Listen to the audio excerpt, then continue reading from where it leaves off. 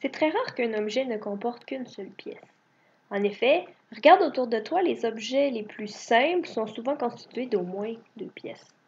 Un couteau comporte un manche. Les ciseaux sont deux lames assemblées. Pareil pour une paire de pinces. Dans ces objets, certaines pièces vont avoir des fonctions mécaniques, c'est-à-dire des rôles précis dans le bon fonctionnement de l'objet. Dans cette vidéo, nous verrons une première fonction mécanique, la liaison. La liaison, c'est l'action de lier, soit de maintenir ensemble deux ou plusieurs pièces d'un objet. Différents éléments peuvent être utilisés pour assurer la liaison. On va appeler ces éléments les organes de liaison. Les vis et les clous sont probablement les plus communs et les plus évidents.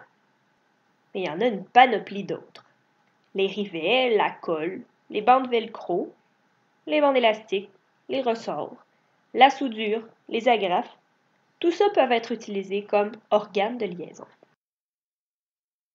On va choisir les organes de liaison en fonction de comment les pièces liées doivent réagir une par rapport à l'autre. Est-ce qu'elles doivent être solidement ancrées, comme le manche du couteau?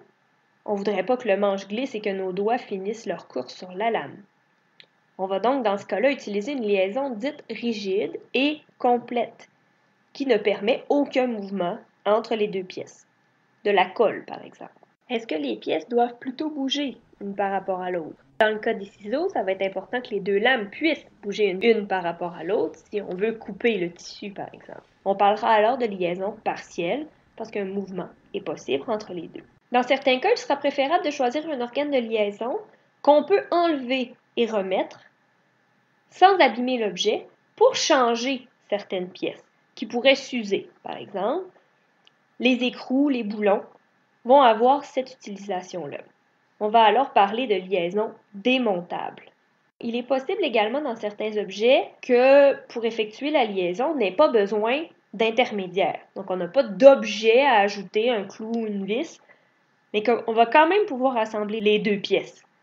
Par exemple, dans une bouteille d'eau, le bouchon et le goulot contiennent tous les deux des rainures qui sont complémentaires, ce qui va faire en sorte que lorsque je vais visser le bouchon sur la bouteille, je n'ai pas besoin d'organes de liaison, mais je vais quand même assembler mes deux pièces.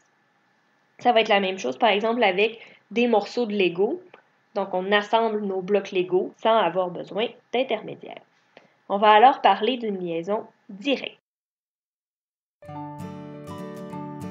En résumé, une liaison est une façon d'assembler deux ou plusieurs pièces.